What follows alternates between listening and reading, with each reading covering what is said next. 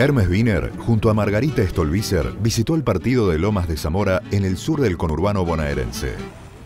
Durante una recorrida por el Hospital Municipal Oscar Allende, Wiener y Stolbizer escucharon los reclamos del personal por sus precarias condiciones laborales, la falta de profesionales y las dificultades con las que se enfrentan a diario para prestar un servicio de calidad a los vecinos de Lomas de Zamora.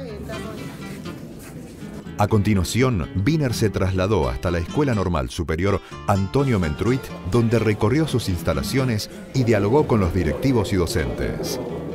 En esta escuela, con más de 100 años de vida, fue maestra nada menos que una luchadora y militante de los derechos humanos y parte de la historia del Partido Socialista y de la Argentina.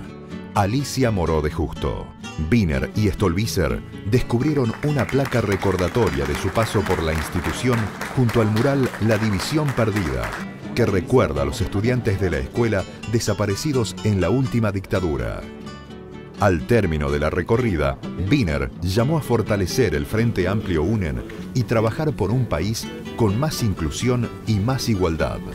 Con la obligación de crear una nueva sociedad con valores, con defensa de las instituciones, con nuestro apego a los colores eh, de nuestra bandera, en fin, lo que hacen a la nación, cómo nos identificamos y cómo queremos que se pueda avanzar en un país tan difícil como Argentina, pero tan necesario de que haya un cambio en la conducción política del país.